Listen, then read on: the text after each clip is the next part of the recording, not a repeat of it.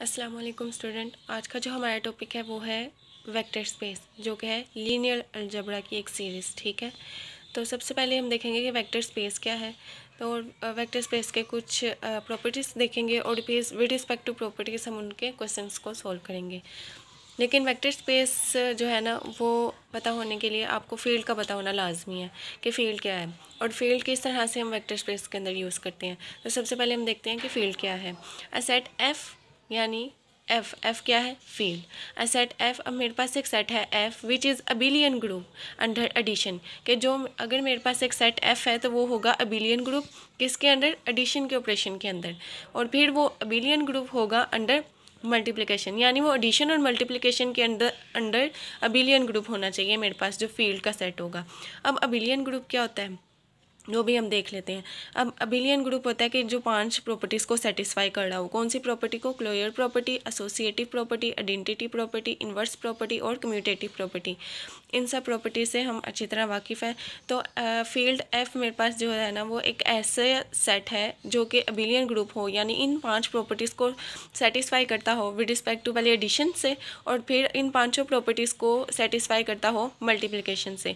और फिर आखिर में वो सेटिस्फाई करेगा डिस्ट्रीब्यूटिव प्रॉपर्टी को। तो फिर हम कहेंगे कि ये क्या है? मेरे पास फ़ील्ड है, ठीक है? आगे जाके जब हम इसकी प्रॉपर्टीज़ देखेंगे तब तो आपको ज़्यादा अच्छे से समझ आ जाएगी इसकी। अब हमने देखना है कि वेक्टर स्पेस क्या है। ठीक है? अब वेक्टर स्पेस में वो कह रहा है let F be a field अब हमें है कि एफ़ एक फ़ील्ड है। उसने कहा let F be a field and V are non non M set ठीक है? एफ़ मेरे पास फ़ील्ड है और वी मेरे पास एक नॉन एम सेट है। On whose element and operation of addition is define यानी जो वी के एलिमेंट के ऊपर एडिशन का ऑपरेशन जो है वो डिफाइन कर दिया गया है। सपोज़ डैट फॉर एवरी अब ए बिलोंग टू एफ़ यानी ए मेरे पास एक ऐसा एलिमेंट है जो कि फ़ील्ड एफ़ से है। For every V belong to vector V यानी जो वी का मेरे पास नॉन एम्प्टी सेट था। वेक्टर्स का नॉन एम्प्टी सेट था। अब मैंने एक एलिमेंट लिया है ए जो कि बिलोंग करता है एफ़ से। एक मैंने एलिमेंट लिया है वी जो कि बिलोंग करता है वी के वेक्टर्स वी के उससे। सेट से। तो मैं कहूँगी कि जो दोनों का प्रोडक्ट होगा ना ए वी यानी जो एक मैंने एलिमेंट लिया था फ़ील्ड से, एक मैंने एलिमेंट लिया था एक नॉन एम्प्टी सेट वी से तो ये होगा इज़ एलिमेंट ऑफ़ वी यानी दोनों का जो प्रोडक्ट होगा ना, जब मेरे पास फ़ील्ड का और जो मेरे पास नॉन एम्प्टी सेट वी का, दोनों का जो प्रोडक्ट होगा, वो भी क्या होगा, किसका एलिमेंट होगा? वी का ही एलिमेंट होगा। अब वो कह रहा है then V is called vector space of F यानी एक मैंने एलिमेंट लिया था वी से, एक मैंने एफ़ एलिमेंट लिया था एफ़ से। तो दोनों को जब मैंने प्रोडक्ट लिया तो दोनों का प्रोडक्ट भी किस ग्रुप का हिस्सा हुआ? वी का। तो फिर मैंने कहा, जो वी है ना, वो क्या है? वेक्टर स्पेस ओवर एफ़ के एक एलिमेंट इसका था तो उसका मल्टीप्लिकेशन ओवर एफ़ ठीक है? अब हम आते हैं इंटरनल कॉम्पोजिशन के ऊपर। सबसे पहले हम दो कॉम्पोजिशंस के बारे में बात करेंगे, एक इंटरनल कॉम्पोजिशन और एक एक्सटर्नल कॉम्पोजिशन अब इंटरनल और एक्सटर्नल कॉम्पोजिशन है क्या? इंटरनल कॉम्पोजिशन इंटरनल के बाद से ही पता चल रहा है। यानी जो अगर मैं एक, मेरे पास एक सेट है वी ठीक है? तो वी के अंदर ही जो मैं ऑपरेशन लगाऊँगी ना वी के अंदर ही वी के ही एलिमेंट्स को यूज़ करके उसके अंदर ऑपरेशन लगाऊँगी तो वो होगा इंटरनल कॉम्पोजिशन जैसे कि लेट वी बी यानी सेट के वी मेरे पास कोई भी सेट है। देन अगर मैं ये ऑपरेशन लगाती हूँ कि वी के ही मैं सेट से दो एलिमेंट ले लेती हूँ। वी और वी यानी ये वी के ही सेट से मैंने दो एलिमेंट लिए हैं। तो दोनों का जो मल्टीप्लाई मल्टीप्लाई करूँगी, जो दोनों का प्रोडक्ट होगा, वो भी किस सेट से ताल्लुक़ रखता होगा, किस सेट से होगा वी से ही होगा। तो इसे मैं कहूँगी कि यह इंटरनल कॉम्पोजिशन है। इस, ठीक है? And it's called vector addition ये देखें।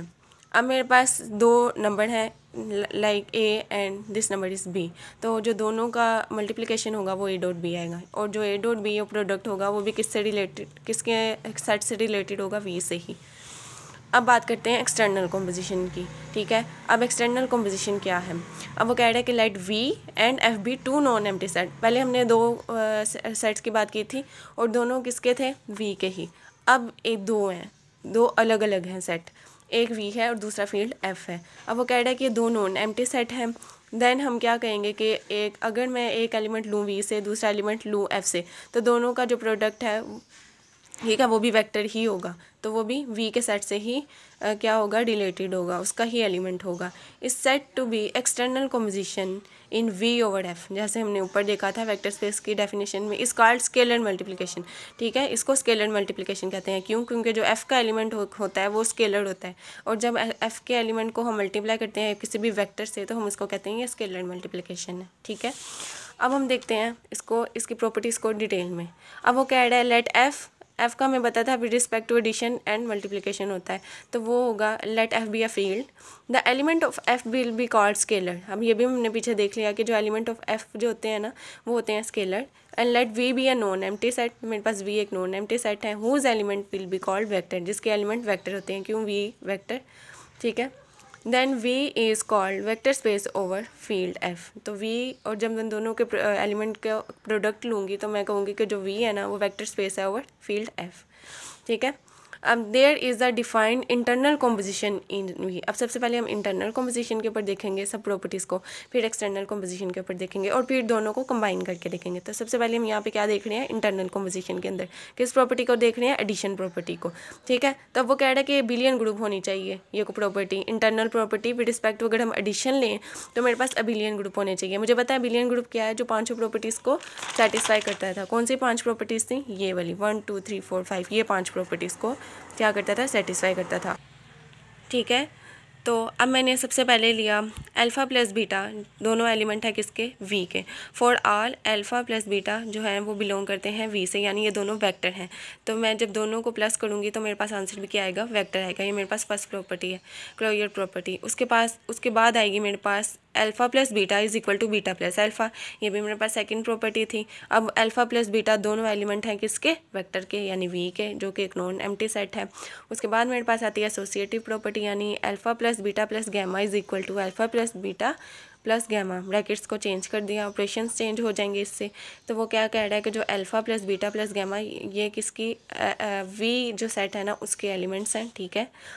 अब वो कह रहा है, एक एलिमेंट है ज़ीरो जो कि बिलोंग करता है किससे? वी से. सच डैट अगर हम अल्फ़ा कोई भी वेक्टर है, उसको ज़ीरो में ऐड करेंगे तो मेरे पास वो ही एलिमेंट दोबारा आ जाएगा अल्फ़ा ही दोबारा आ जाएगा। ठीक है? For all alpha belong to vector V यानी जो मेरे पास एक नॉन एम्प्टी सेट था। सो दिस एलिमेंट ज़ीरो जो कि बिलोंग करता है वी से will be called zero vector ठीक है?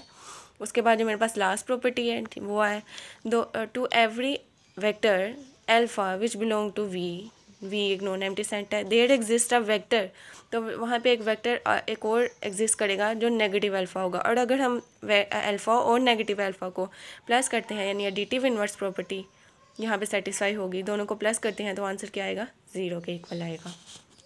ये मेरे पास था abelian group with respect to addition किसका? इंटरनल कॉम्पोजिशन का। कि अगर इंटरनल कॉम्पोजिशन यानी सिर्फ़ मैं वेक्टर वी के ही लूँगी एलिमेंट्स को, ठीक है? और कौन सा ऑपरेशन लगाऊँगी? प्लस ऑपरेशन और बिलियन ग्रुप यानी ये पाँचों प्रॉपर्टीज़ अगर मेरे पास सेटिस्फाई करती हैं तो मैं कहूँगी कि विद रिस्पेक्ट टू एडिशन जो मेरे बिलियन ग्रुप है वी यानी जो वी मेरे पास है, वो वेक्टर स्पेस है, अगर वो इन पाँच प्रॉपर्टीज़ को सेटिस्फाई करेगी विद रिस्पेक्ट टू एडिशन अब हमने बात करनी है एक्सटर्नल की। There is an external composition in V over F ठीक है? कि एक्सटर्नल कॉम्पोजिशन होगा वी ओवर एफ़ यानी वी का एलिमेंट होगा और एक एफ़ का एलिमेंट होगा, और दोनों को मैं मल्टीप्लाई करूँगी तो मेरे पास आएगा स्केलर मल्टीप्लिकेशन ठीक है? ये हमें पता है। And is noted by multiplic multiplicatively जैसे मेरे पास है ए अल्फ़ा दोनों को मैंने मल्टीप्लाई किया तो दोनों फिर, जब मैं दोनों को मल्टीप्लाई करूँगी तो दोनों बिलोंग किससे करेंगे? वैक्टर से ही। फोर आर जो ए है, वो बिलोंग किससे करता था? एफ़ से, यानी जो ए था, वो एफ़ का एलिमेंट था, जो अल्फ़ा था, वो किसका था? वेक्टर का वी का एलिमेंट था। दोनों का जो मल्टी दोनों को मल्टीप्लाई किया तो दोनों को मल्टीप्लाई करने से जो आया, वो वी का ही एलिमेंट होगा। यानी मैं ऐसे कहूँगी कि in other words V is called close with respect to scalar multiplication इसे स्केलर मल्टीप्लिकेशन कहते हैं ना? कि अगर कोई भी फॉर एग्जांपल मैं थ्री को मल्टीप्लाई कर रही हूँ two i plus three j से तो ये स्केलर मल्टीप्लिकेशन होगा। क्यों? क्योंकि थ्री मेरे पास एक स्केलर क्वान्टिटी है, और मैंने उसे three two i plus three j एक वैक्टर से मल्टीप्लाई किया है। उसके बाद थर्ड यानी दोनों को कंबाइन कंबाइन करके अगर मैं करती हूँ तो। ठीक है? टू कॉम्पोजिशन अब मेरे पास थी कौन सी इंटरनल और एक्सटर्नल ठीक है? अब मैंने उनको कंबाइन करके देखना है। कैसे कंबाइन करना है कि स्केलर मल्टीप्लिकेशन होगी और एडिशन ऑफ़ वेक्टर होगी, ठीक है? इसके तो अब मैं देखूँगी दोनों कंबाइन करके कि इन चार पोस्टुलेट्स को सेटिस्फाई अगर करती है, दोनों को अगर कंबाइन करके अगर हम करें तो मैं कहूँगी कि वो वेक्टर स्पेस है अदरवाइज़ नहीं है, ठीक है? अब मैंने लिया अल्फ़ा प्लस बीटा अब जो मेरे पास अल्फ़ा प्लस बीटा है ना, वो बिलोंग करते हैं वेक्टर वी से, यानी ये वेक्टर है, और जो मेरे पास ए है, वो है फ़ील्ड से, यानी कोई भी रियल नंबर है। स्केलर मल्टीप्लिकेशन करूँगी तो ये मेरे पास आ जाएगा a alpha plus a beta ठीक है? पहली तो ये प्रॉपर्टी होगी, दूसरी। अब ए प्लस बी अब मेरे पास दो रियल नंबर हैं जो कि किससे बिलोंग करते हैं फ़ील्ड से और एक वेक्टर है जो कि बिलोंग करता है वी सेट से। तो ये मेरे पास आ जाएगा a alpha plus b alpha ठीक है? एक ये प्रॉपर्टी होगी। उसके बाद मेरे पास दो नंबर हैं ए बी दोनों का प्रोडक्ट ए बी जो कि किससे बिलोंग करता है? सेट एफ़ से। और एक मेरे पास है वेक्टर जो कि बिलोंग करता है वी से वी सेट से। ठीक है? तो मैं इस तरह से लिख सकती हूँ। ए बी अल्फ़ा था तो यहाँ पे मैं इसे यूँ लिख सकती हूँ। ए और बी अल्फ़ा। एक ये मेरे पास प्रॉपर्टी आ गई। और लास्ट प्रॉपर्टी है मेरे पास कि अगर मैं किसी भी जो है ना मल्टीप्लाई करूँगी, किसी भी वेक्टर को वन के साथ तो मेरे पास अगेन वेक्टर ही आता है। ठीक है? फोर आर जो अल्फ़ा है, वो बिलोंग करता है वेक्टर से, और जो आई है ना, वो यूनिट एलिमेंट है फ़ील्ड का। ठीक है? यानी जो आई है यहाँ पे, वो आइडेंटिटी एलिमेंट है फ़ील्ड एफ़ का। तो समझ आ चुकी होगी आपको कि वेक्टर स्पेस क्या है फ़ील्ड क्या है, इनकी प्रॉपर्टीज़ क्या है, ये इनको अबिलियन ग्रुप क्यों करते हैं? ठीक है? अंडर एडिशन एंड मल्टीप्लिकेशन बहुत ईजी है, सिर्फ़ आप इसमें इन पाँच प्रॉपर्टीज़ को जो है ना सेटिस्फाई होना चाहिए। तब मैं कहूँगी कि वो मेरा वेक्टर स्पेस भी है ओवर एफ़